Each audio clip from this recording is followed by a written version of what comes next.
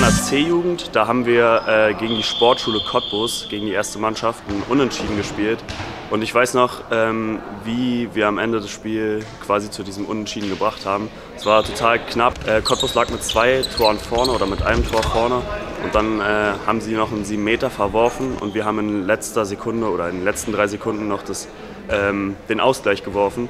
Äh, das war mir im Nachhinein sehr schön in Erinnerung. Und äh, ich weiß noch, wie so die Emotion von den einzelnen Leuten war und äh, das ist mir sehr im Kopf geblieben.